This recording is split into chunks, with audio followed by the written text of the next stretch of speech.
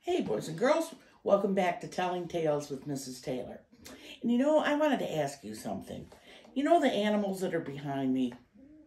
Have you ever noticed that they seem to keep moving around? I swear that Hedwig was over there one time. The cat in the hat keeps moving around. I thought he was up here somewhere and my little cat in the hat puppet has moved. So have you noticed that over these last few months? Hmm. Well, keep watching because who knows where they're going to be next week. The first book I'm going to read to you from our top 50 is by Jan Brett and it's called The Mitten. It's kind of going to be a hard one to see because it's one of those um, board books. Okay. Once there was a boy named Nicky. He wanted mittens as white as snow. I figured I'd keep reading. I'd read it because it's still snowing. If you drop a white mitten in the snow, it's going to be hard to find, his grandma told him. But Nicky wanted snow white mittens so much that his baba, which is grandma, made them for him.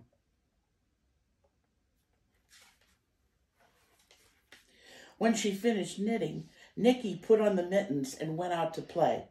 It wasn't long before one of his mittens fell off.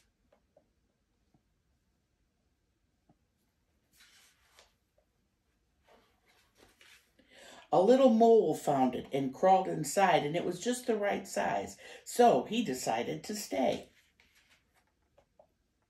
Usually you can look at the picture over here.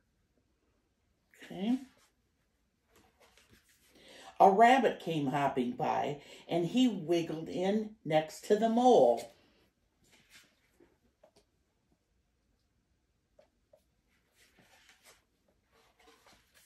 A hedgehog wanted to get warm, so the mole and the rabbit even made room for him inside the mitten. Boy, that mitten's getting kind of tight and full of animals. The owl didn't want to be left out, so the mole, the rabbit, and the hedgehog had to move over. The little mitten was really getting crowded.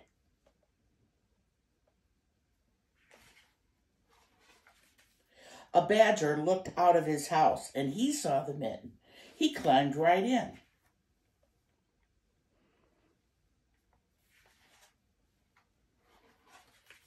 It started to snow, so a fox pushed his way in and made himself right at home. Whoa, that's one stretchy mitten. Then a big bear sniffed at the mitten. The animals were packed in tight, but the bear didn't care. He crawled in anyway. The mitten was getting bigger and bigger and bigger.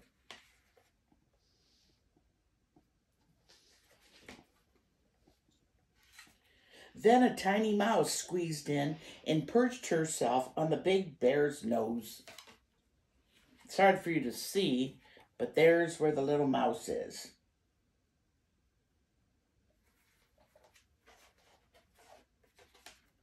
The mouse's whiskers tickled the bear's nose.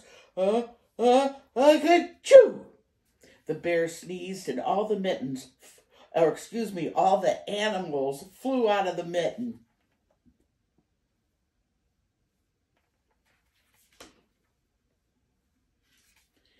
Nicky saw his mitten sail up into the air. It's right here.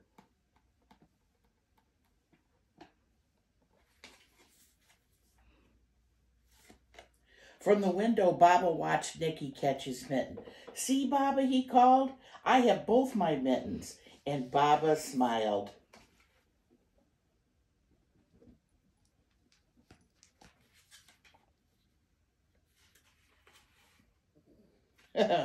but look how big the one mitten was stretched out.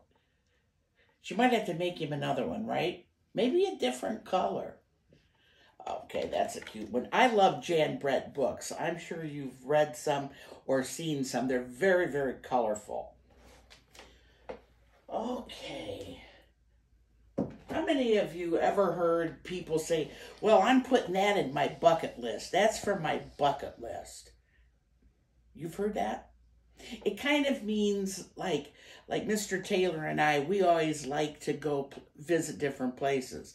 So on our bucket list, we're going to put in Salem, Massachusetts. That's a place that we want to visit.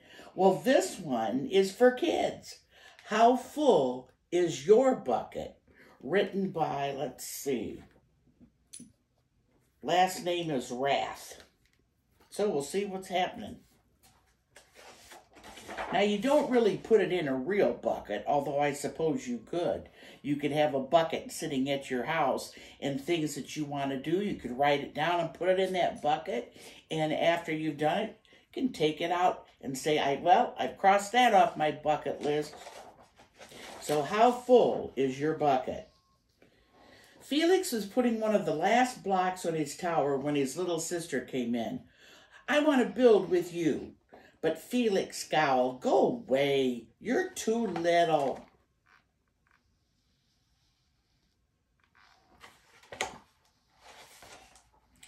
I'm big. Stay back or you're going to knock it over. I can be careful. Go play with your baby toys, Anna. Mm, and thwack. Look what Anna did. Boy. Grandpa! Grandpa shook his head. Felix, you just dipped from your sister's bucket. Like everyone else, Anna has an invisible bucket, and when it's empty, she feels bad. But when it's full, she feels great.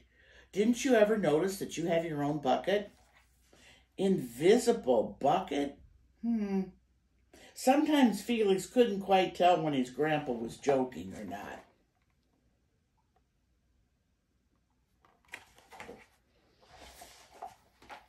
But the next morning when Felix woke up, there it was, a small gray bucket floating above his head.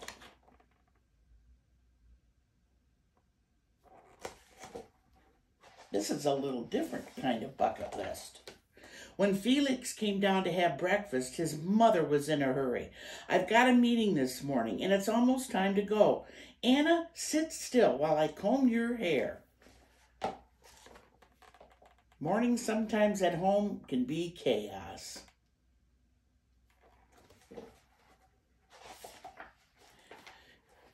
Uh-oh, Felix slipped and cocoa wheat scattered across the floor.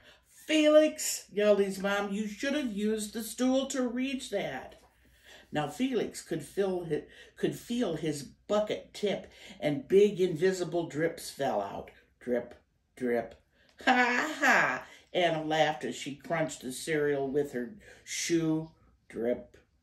Get the broom and clean that up before you miss the bus, scolded Mom.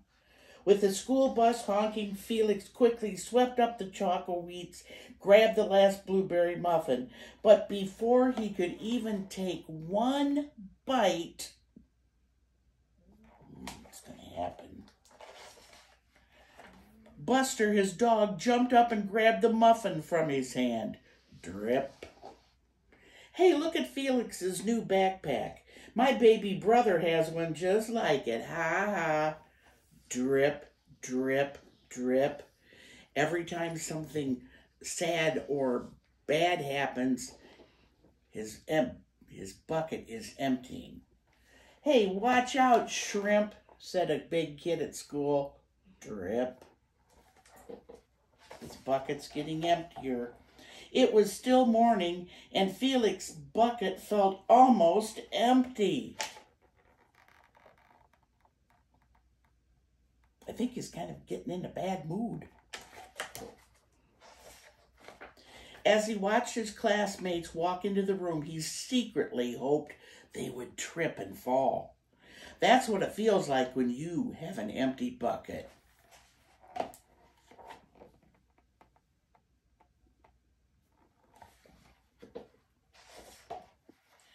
Felix slumped into his seat and waited for something else bad to happen.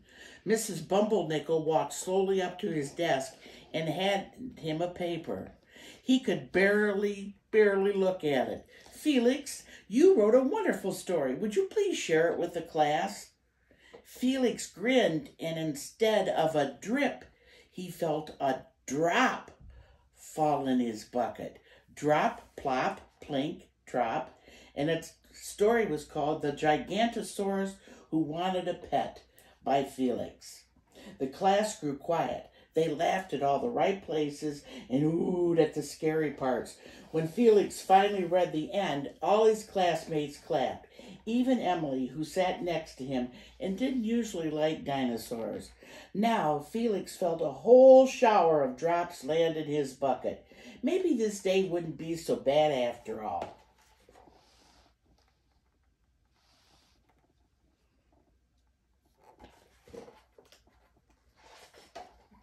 Drop. Team captains today are Veronica and Felix. Drop. Nice cow, said his arts teacher. It's a dog. Well, nice colors there, Felix. Cool laser ant backpack, Felix. Drop, drop. His bucket's filling up.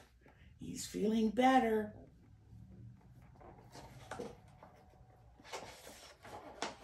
By afternoon, Felix's bucket was nearly full.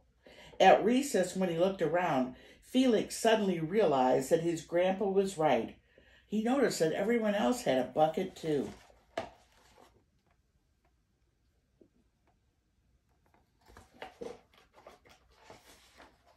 Drop, drop. Let me help you. Drop, drop. Here, your, here's your baseball catch. Drop, drop. Thanks, dude. Drop, drop. Hi, I'm Felix. Is this your first day of school? Yes, I'm Amir. Now, Amir's bucket hardly has any water in it because he's a brand new student. So his bucket isn't full. He's a little scared. So when Felix said hi to him, he got a drop. The strange thing was that for every drop he helped put in someone else's bucket, he felt another drop in his own bucket. When Felix burst in the door after school, he shouted, Grandpa, you were right. I do have a bucket, and I understand how it works. Then he saw Anna's torn doll. Bad dog, he almost scolded, but then he thought, you know, dogs might have invisible bucket, buckets too. Your doll will be okay, Anna, said Felix. Mom will fix her. But until then, do you want to help me build the tallest building in the world with my blocks?